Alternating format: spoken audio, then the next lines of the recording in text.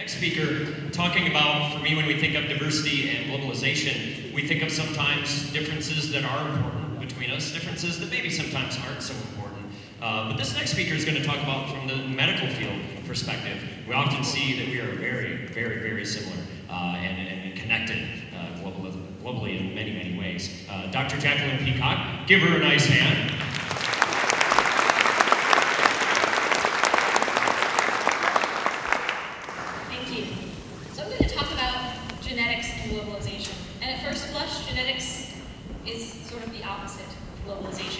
globalization is about this big things, these big ideas, this big planet full of billions of people.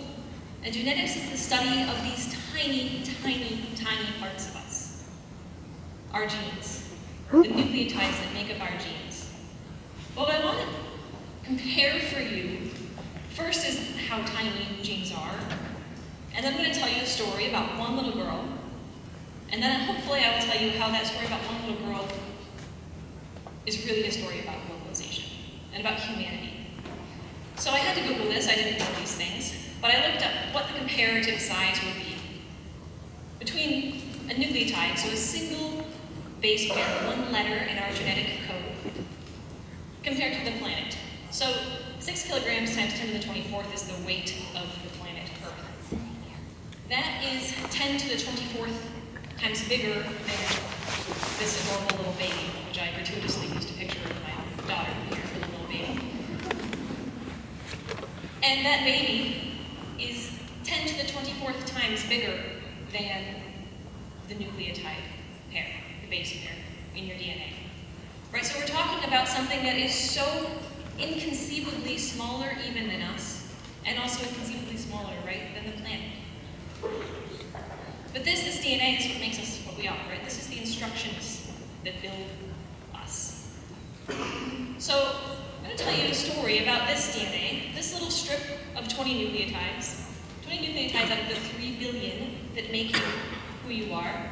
And I'm actually only going to tell you about this one, right here, this funny looking one, where there's these two little lumps. But first, I'll tell you about the little girl. So there's a little girl who lives in Grand Rapids, Michigan. She's eight years old now. And when she was about three, she was diagnosed with a rare disease, a disease called oculoectodermal syndrome. Quite a mouthful. Exceedingly rare. There's about 20 or 30 people on the planet who have this disease. It was discovered about 20 years ago, coincidentally, in fact, by a woman who lives and works in Grand Rapids at Michigan State University. But even though we've known about this type of disease for 20 years, and we know it's genetic, it's congenital, you're born with this disease, people don't seem to inherit it from their parents. We've never seen someone have this disease and then give it to a child. But it's not contagious. It's congenital. You're born with it. So it must have a genetic component. We're sure. And now in 2014, about a year ago, we have the technology. And because of a donation, a philanthropic donation, we had the money. And this little girl and her family had the generosity to donate to a research team their blood and tissue samples. So this little girl, from the time she was born, has had patches of skin that don't quite form right. So skin that's too thin on her scalp, which can cause infections. There's alopecia, so patches where she doesn't have hair. Some strange streaks, dark streaks on her skin. And she has horrible arthritis. So it's uncomfortable for her to walk, which for a little girl, right? Walk and run and play. And probably the most dangerous of all, she has benign tumors in her bones.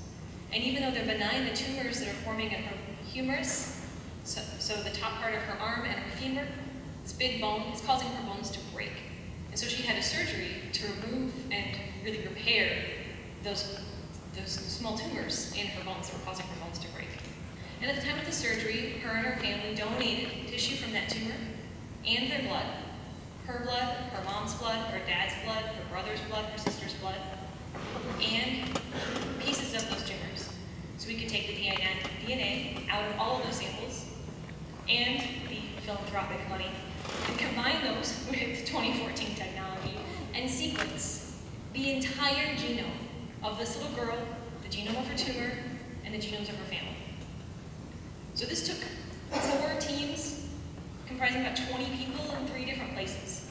Geneticists, bioinformaticists, doctors, including a surgeon and some genetics doctors, and then me, the person in the lab who knows how to do the actual fussy lab work and doesn't know how to talk to patients. So after the bioinformaticists and their computers got back all of these genomes from all the different family members and the girl and her tumors, they said, here, we think there might be something in these two places, but our error rate is about two or three type miscalls in an entire genome. Genome's big, right? Three, three billion base pairs, read everything a couple. So you're gonna have to check this somehow. So my boss, who was the surgeon, brought it to me and said, well, how do we check? We've got these two possible genes where there might be a mutation in this little girl, how do we check? And I said, well, we sequence it in an entirely different, entirely independent way, and then we can be sure. So we had two different spots, and I sequenced both of them in one of the most old-fashioned ways, which is called Sanger sequencing, and that's what this little picture is. So for every nucleotide, we have a letter that's assigned to it, and what Sanger sequencing does is it shows us a peak in order. They're color-coded here, they're actually color-coded in a little capillary, of which letter comes next. It's old-fashioned, this was invented decades ago, right? So normally, in this gene, this is the one that worked, I'm not going to show you the one that was negative. So there was a false positive on the bioinformatics computer version of it, but fortunately only one out of two. So in this gene, we know that all of these, you should only have one base pair. There's only one option to get a functional protein out of this gene. This DNA has to be correct. There can't be mistakes. Now sometimes we get big mistakes. You lose whole chromosomes, gain whole chromosomes. That's what causes Down syndrome, right? So millions, hundreds of millions of genes can change and give you a disease.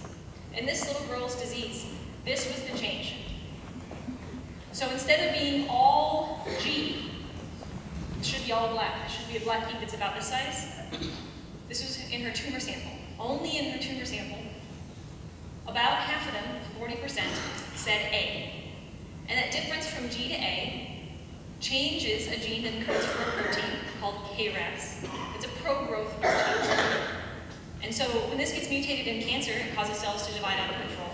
And this little girl had mutated sometime early in fetal development and caused her to have some cells in her body that didn't know how to grow properly. They had a stuck gas pedal. But that happens just because of this one change in this one nucleotide out of her three billion nucleotides. Not in every cell in her body, just in some of them while she was developing. We found this not in her parents, not in her siblings, just in her. So it must have happened just to her, in utero, basically because of the different tissues that are affected. So in a way, this is a story about one tiny, tiny piece, one over 10 to the 24th, of that baby, of that little girl. But she's not the only person in the world who has this disease. We found a second person and we tested their DNA. And now that we've done this, so this whole project, sequencing all of this entire family, etc., cost about $30,000 plus 20 people's time, so I don't even know how to add all that up. But now that I know where to look for this mutation, now that I know what gene causes this little girl's disease, I can do this test on somebody else for about $20. Right, because I've narrowed it down. I only have to look at this tiny little window. So we found someone else that had the same disease and we looked, and he actually had, wasn't the same one, it was like in this one. About six base pairs later, he had a mutation that caused the same thing, the same problem to happen with this protein. So the same gene, a single point mutation in the same gene caused the same disease in these two different people. This isn't a West Michigan story. This is a global story. Because this disease does not affect people in West Michigan. This disease is because of this gene, this one nucleotide. If you change this gene in any one of us, anyone on the planet, during that part of development, they will get oculoectodermal syndrome. So this is the people in the world who've been published who have this disease. I told you it was very rare, and I stopped looking because this was very time-consuming after the first 15. But if you, you take this gene in this way in a child in Japan, right, there's Japan up there, one in New Zealand, one in Qatar, one in California, one in Israel, you get the same disease. One nucleotide out of three billion. So the point that I would like to make about this is that as much as genetics, in a way, is tiny, and also is what makes us look different from each other, genetics is a huge example of how we are actually all the same. It is what unites us as human.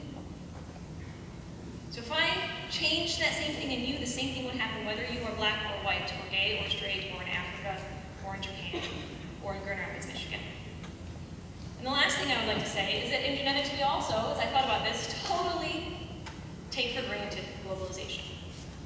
Because it was no problem for me to do this study in Michigan, even if the bioinformatics people had been in France and the sequencer had been in China.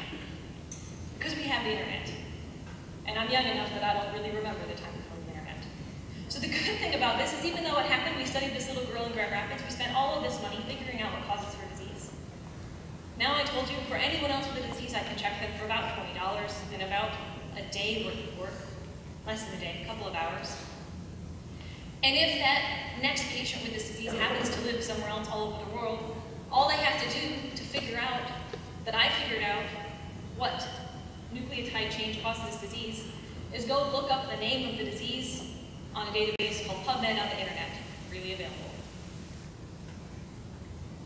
So we take this for granted now, but that's a big deal. It's easy, it's everywhere, it's global. So the knowledge that we create in science is global, just like the genetics of humanity is global, and unfortunately, just like disease is global. So that's about all I wanted to share with you today, and really what I want you to take home, not just the genetics, is really exciting and cool. I think genetics is really exciting and cool. because I run a molecular diagnostics program, which is basically applied genetics, figuring out you know, genetics, genetics of disease. But also the point that I made about humanity. We all have basically the same 3 billion base pairs. We are so much more, immeasurably more alike